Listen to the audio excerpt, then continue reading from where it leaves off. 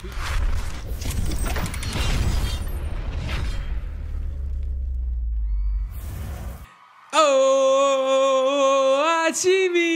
Milan! Ciao a tutti ragazzi, ho rimesso, ho rimesso la camicina di ieri post derby, l'avevo buttata a lavare, poi ho detto no, la rimetto per il video di oggi perché tanto bene ha portato ieri e quindi l'ho rimessa su anche oggi. Bentornati, benvenuti, nuovo video qua sul canale, Lorenzo Lollo. Ma che bello oggi ragazzi, ma che bello, ma che bello, tutta la famiglia rossonera, tutti compatti, tutti insieme, tutti contenti. Per il derby di ieri ci sono un po' di considerazioni da fare, questa stamattina ho, ho, scritto sulla pagina dei milanisti perché ieri sera ovviamente come avrete visto tutti dalle storie che ho postato sul mio Instagram e insomma anche dalle foto che ho messo un po' anche qua, ho fatto una, uno shorts anche qua su YouTube ovviamente ero in diretta, ero a casa Milan quindi ero in diretta per fare il commento, la live reaction del derby e quindi non, non potevo scrivere. Ho scritto stamattina, ho scritto due pensieri che secondo me vale proprio la pena da, di fare insomma per, per, la partita, per la partita di ieri. Nel complesso bene raga.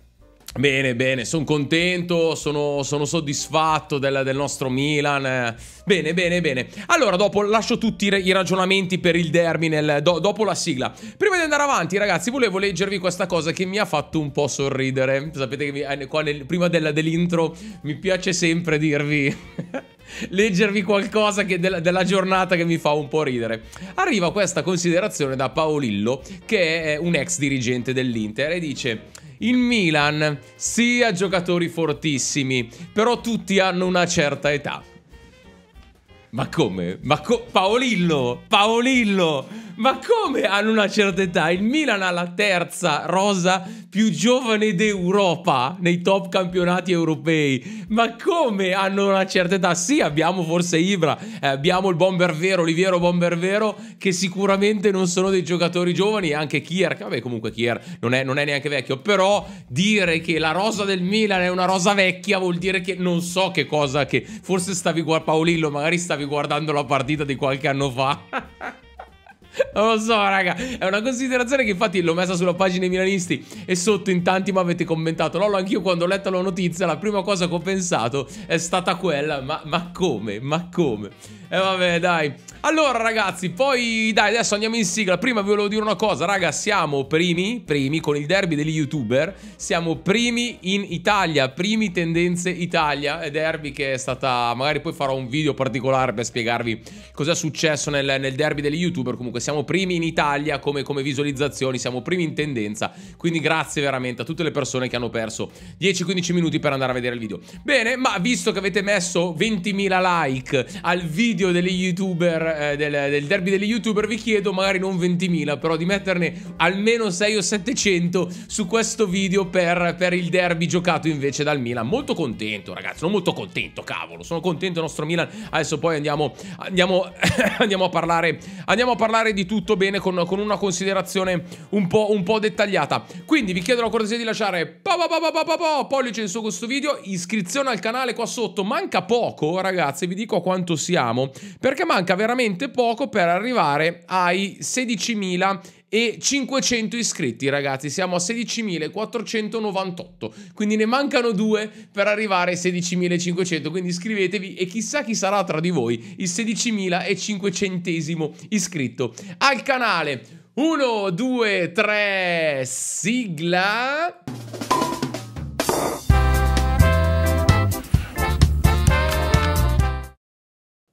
Oh, AC Milan! Allora, volevo, prima della considerazione, ragazzi, siccome oramai in, questo, in questi anni abbiamo battuto record su record, la squadra di Pioli, i ragazzi Pioli hanno battuto record su record, ma eh, volevo leggervi questo perché il Milan eh, eh, ieri, con la partita di ieri, ha, bat ha battuto l'ennesimo record, mai così tanti punti nella storia.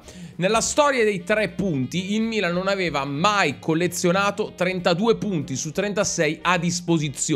Non era mai successo, ragazzi. Il Milan sta scrivendo la storia. Quindi molto felice di questa cosa. Allora, iniziamo a, a, a, fare, a, fare, delle considerazioni. Vi leggo che cosa ho scritto. No, raga, sono senza occhiali, li ho lasciati di là, vabbè.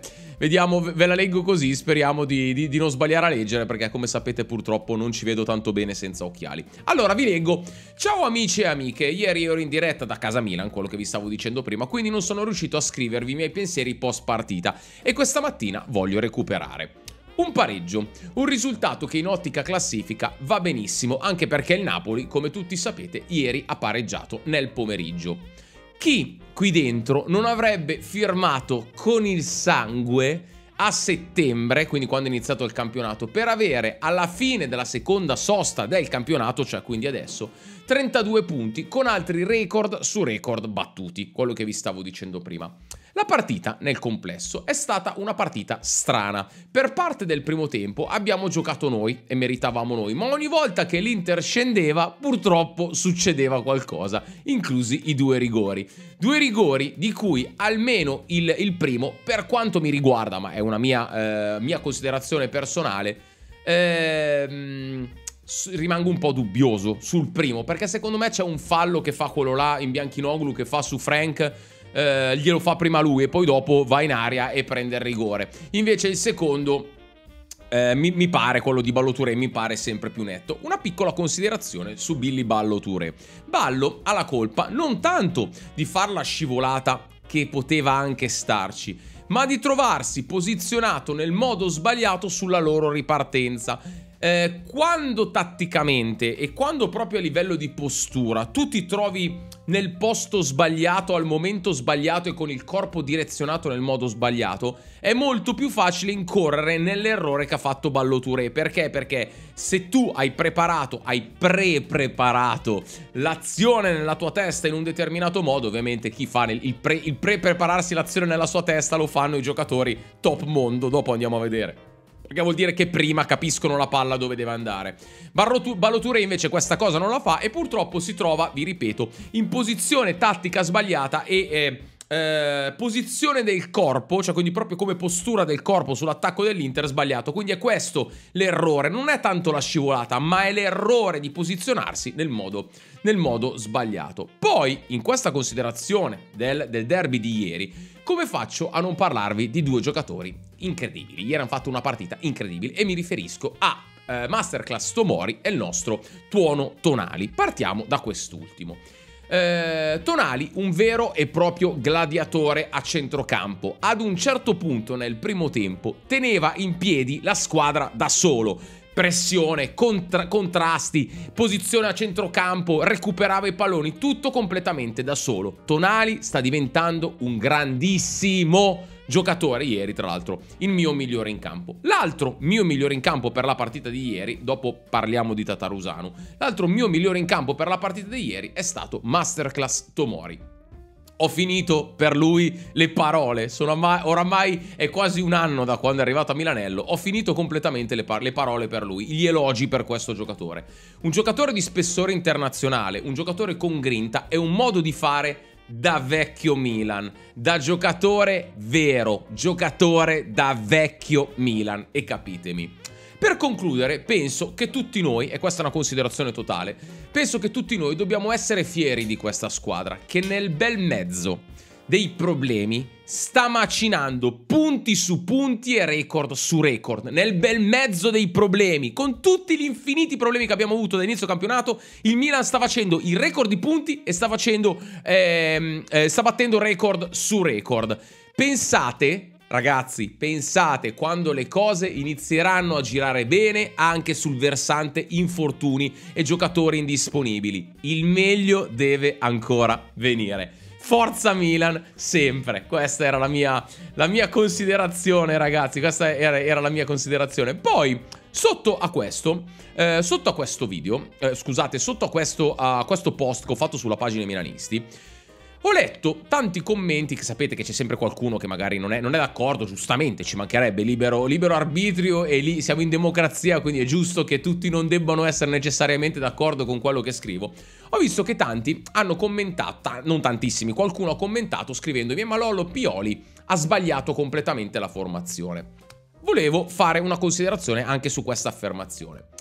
Non possiamo, eh, scrivo, scrivo questa cosa, raga, però non possiamo fare una considerazione sulla formazione iniziale del derby di ieri sera senza tenere ben presente che alcuni giocatori sono arrivati super cotti o mezzi infortunati alla partita di ieri.